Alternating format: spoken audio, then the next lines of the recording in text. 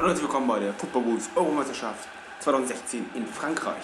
Heute mit dem ersten Gruppenspiel der Gruppe F, die letzte Gruppe bei der Europameisterschaft. Sprich, noch zwei Gruppenspiele, dann ist die erste Runde vorbei. Und heute Österreich gegen Ungarn. Ungarn in weiß, die Österreicher in rot. Die Ungarn werden ja von Bernd Stork, dem deutschen Trainer, trainiert. Die Österreicher von Marcel Koller, einem Schweizer. Und heute, wie gesagt, das erste Spiel in der Gruppe F. In der Gruppe F haben wir dann Österreich, Ungarn und Portugal und die äh, Geheimfavoriten Island in einer Gruppe vertreten. Jetzt erstmal die österreichische Nationalhymne. Da haben wir gerade gesehen Anautovic, Hanik, Alaba, Baumgartlinger, Brödel. Ja, die Österreicher, ja auch sowas wie ein ganz kleiner Geheimfavorit mit dem Kapitän Fuchs überraschend Meister in Leicester City geworden. Er führt die Österreicher bei der Europameisterschaft an. Die Ungarn, ja, werden ja, wie gesagt, von Bernd Stork trainiert. Mit Gabor Kira immer noch im Tor. Aber jetzt erstmal die Aufstellung der Österreicher. Die Österreicher mit Alma im Tor. In einem 4-2-3-1. Vorne drin Janko. Hier, wie gesagt, die Ungarn mit dem Routinier im Tor, Gabor Kirai und einigen anderen nicht unbedingt so bekannten Spielern. Viele sind auch in der eigenen Liga in Ungarn unter Vertrag. Aber jetzt geht's los. Das letzte Spiel. Das erste Spiel der Österreicher. Ich übe aber direkt mal. Und jetzt die Ungarn am Ball. Da aber der schnelle Ballverlust schon wieder. Jetzt über die linke Seite mit Christian Fuchs. Schöne Reingabe hier auf Junusovic. Der wollte ja sofort Bahn setzen, aber wurde getrennt. Und die Ungarn jetzt mal im Mittelfeld über Elik. Auch ein Spieler, aus der ungarischen Liga, der jetzt wieder am Ball kommt über die rechte Seite. Kann den Ball da nicht durchbringen, da ist Alaba zuvor. Ja, Alaba auch Doublesieger geworden in Deutschland mit Bayern München. Der jetzt hier am Ball. Keiner greift ihn an, aber dann verliert er auch sehr schnell den Ball an Elik. Der auf Kalmar, Viola, der Rechtsverteidiger heute der bei der Pushgas Akademie FC in der ersten Liga von Ungarn spielt, aber die sind dieses Jahr abgestiegen. Jetzt Janko, der kann an den Ball kommen. Aber verliert ihn auch schnell wieder an Kalmar, der auf Zalai. Adam Zalai kann den Ball dann nicht zurück zu Kalmar bringen. Sonst wäre das sicher eine gute Chance gewesen.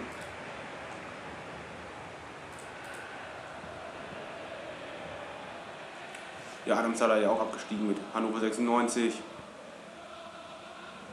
Jetzt die Ungarn, eine schöne Reingabe. Kommt der zu Lala? Ja, der hat die Drehung. Hat den Ball, hat ihn immer noch? Nein. Dann hat er wieder immer noch einen Strafraum. Der Schuss, aber abgefälscht. Das gibt da der Ecke. Da der super Pass von Salah. Und dann der direkte Schuss. Wird aber abgefälscht von einem Österreicher. Jetzt die Ecke. Schöne Reingabe.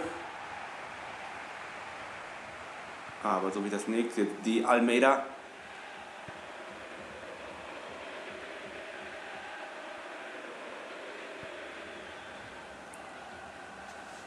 Jetzt die Österreicher.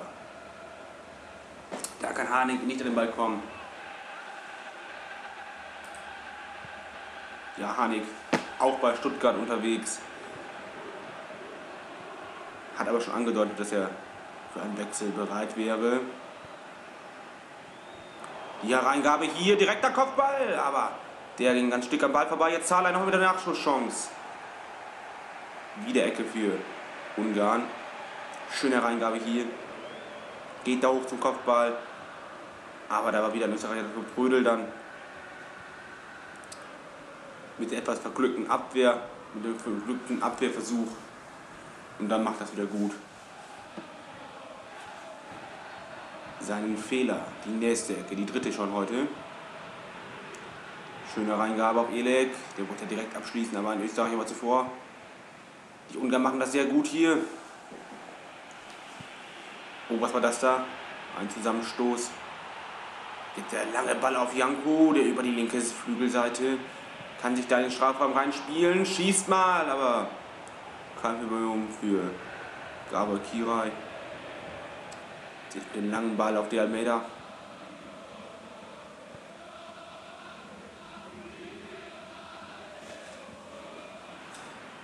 Für Österreicher ist es die erste Teilnahme seit 2008, als sie ja Gastgeber war mit der Schweiz.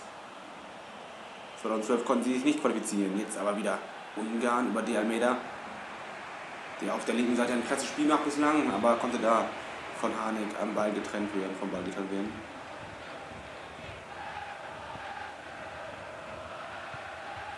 Ja, für die Österreich war das ja 2008 sowieso generell die erste Teilnahme an einer Europameisterschaft und jetzt 2016 die zweite.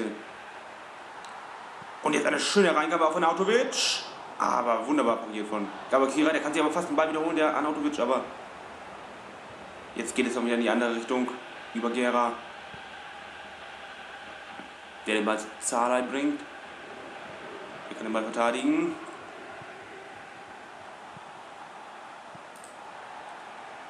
Schöne Reingabe, aber geklärt. Für Ungarn ist es die dritte Teilnahme nach 64, 72 und jetzt dieses Jahr zum dritten Mal dabei. Ja, die Österreich und Ungarn haben ja auch eine gemeinsame Historie.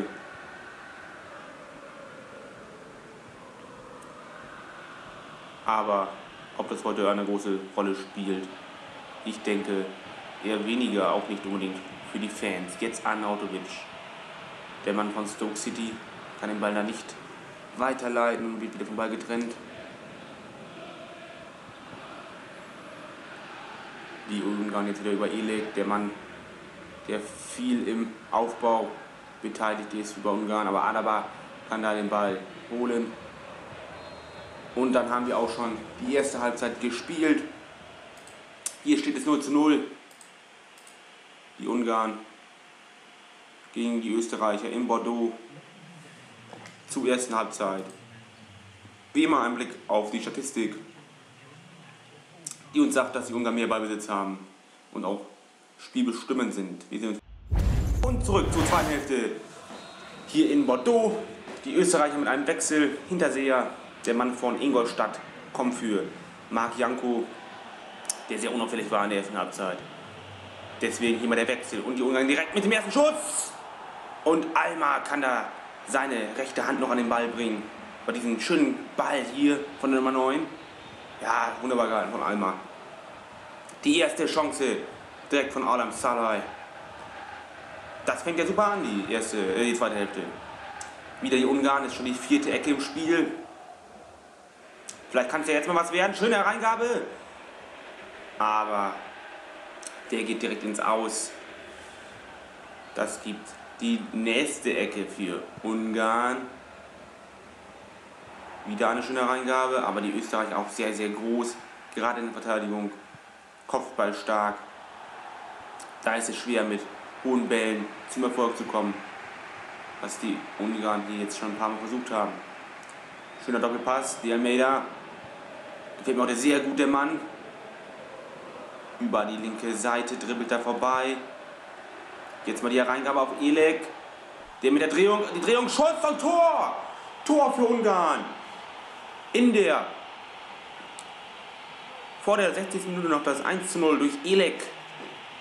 Aus der Drehung da der Schuss, die Ungarn. Ganz klar spielbestimmt bislang. Und deswegen auch das verdiente 1 zu 0 durch Elek. Akos Elek der Mann, der auch in der ungarischen Liga spielt. Hier sehen wir es nochmal. Wunderbar da durchgetankt und jetzt nimmt er den Ball an, macht das perfekt in Gerd Müller-Manier aus der Drehung. Der Schuss. Da Adrian Salah, der dreht sich auch noch perfekt im passenden Moment weg. Sonst wird er da vielleicht auch noch getroffen. Aber so nicht. Ja, wunderbar gemacht. Technisch 1A. Und dann keine Chance für Alma. Da kommt er nicht mehr ran, Robert Alma. Von FK Austria Wien. Die Nummer 1 im österreichischen Tor. Baumgartlinger, ja, gerade gewechselt zu Leverkusen für 4 Millionen Euro. Ja, die Österreicher bislang schwach. Da hat auch der Wechsel noch gar nichts gebracht. Vor einem Sturm sowieso gar nicht vertreten. Jetzt Kalmar wieder, wieder ein Schuss. 2 zu 0. 2 zu 0 für Ungarn. Kalmar war das. Mit einem Flachschuss in die rechte Ecke, in die rechte Ecke des Tores. Keine Chance für die österreichische Nationalmannschaft. Wunderschöner Pass hier von Arne Sola und dann macht das Kalmar einfach wunderbar. Läuft sich da frei, kriegt den Ball wieder, die Nummer 13. Und dann ein satter Schuss ins Tor. 2 zu 0 für Ungarn. Ja, die Ungarn, die auch kurz vor der Europameisterschaft noch ein Freundschaftsspiel gegen Deutschland bestritten haben, führen jetzt hier 2 zu 0 gegen Österreich. Ich hatte die Österreicher eigentlich stärker eingeschätzt, aber bislang konnten sie noch gar nichts abrufen ihrer Möglichkeiten bislang. Sicherlich nicht würdig geworden.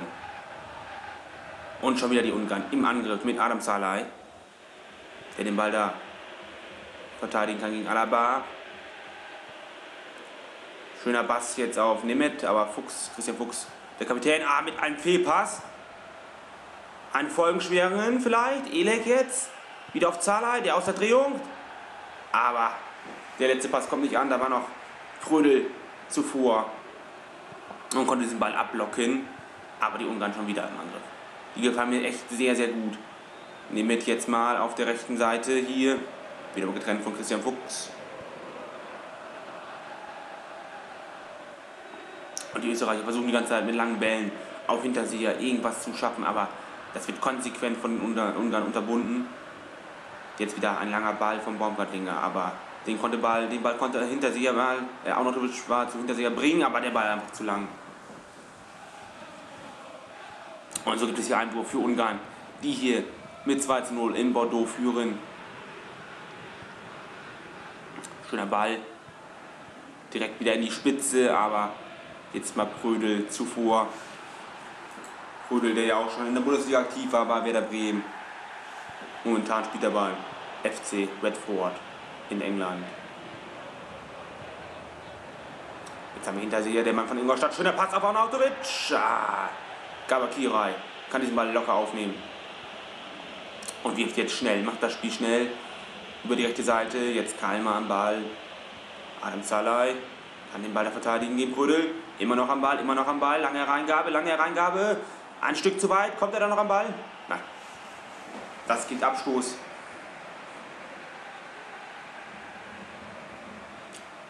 Und der erste Wechsel bei Ungarn.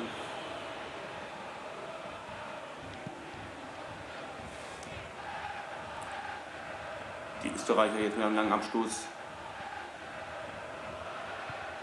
die aber nichts geht, ins Nichts geht.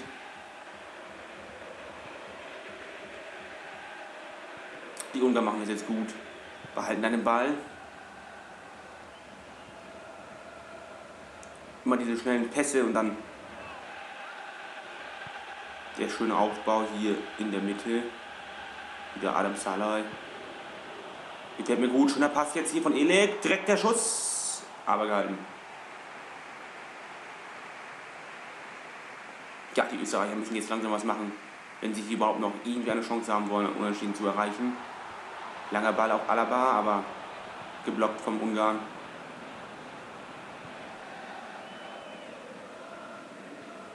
Adam Salai sehr auffällig, verteilt er immer wieder schön die Bälle vorne im, im Sturm. Jetzt über die linke Seite, da ist er direkt am Ball, Adam Salai, aber kann diesen Ball nicht kriegen. Kalmar wieder auf Gera. Dragovic dazwischen.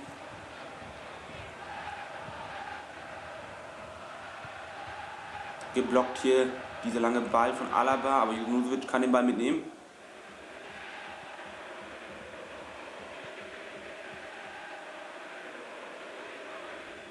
Fuchs, ah, da wird er gefault.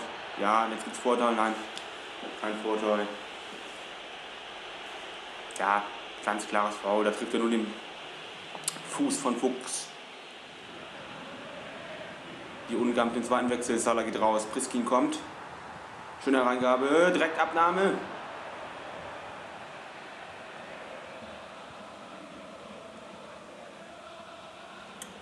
Und wieder Ungarn über Kalmar. Hier weiter zu Gera. Doppelpass jetzt hier. Kann sich durchsetzen, aber der Ball kommt nicht an.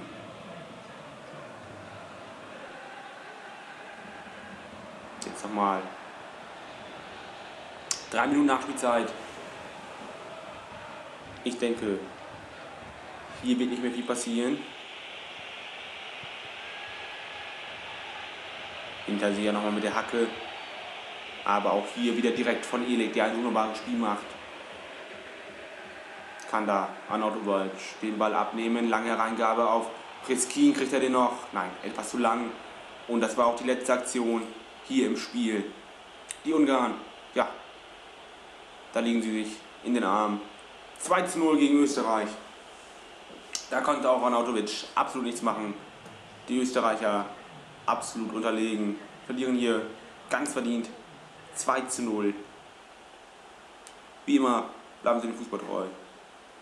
Wir sehen uns.